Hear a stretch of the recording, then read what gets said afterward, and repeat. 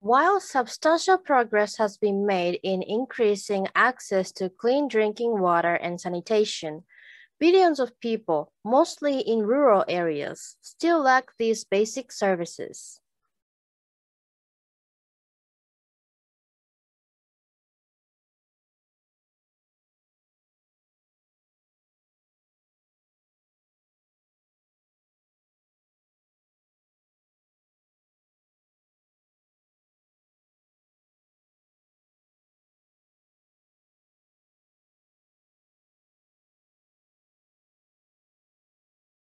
Worldwide, one in three people do not have access to safe drinking water.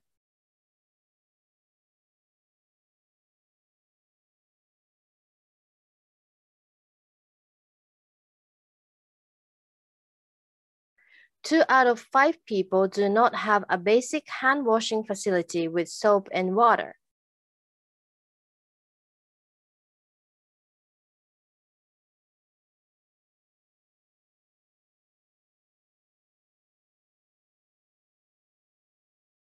And more than 673 million people still practice open defecation.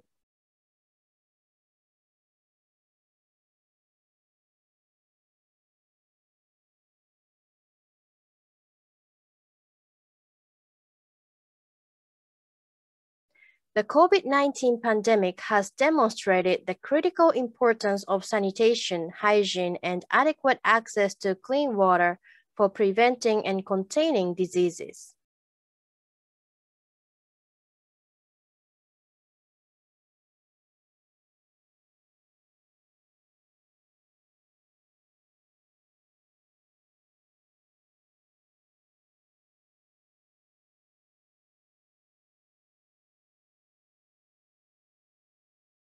Hand hygiene saves lives.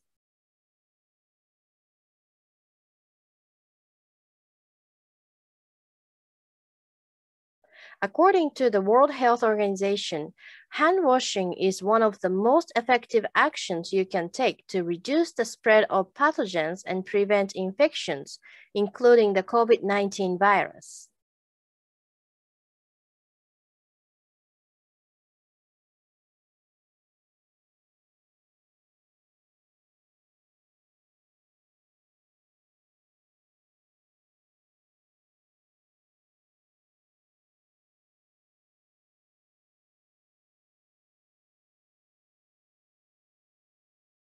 Yet, billions of people still lack safe water sanitation and funding is inadequate.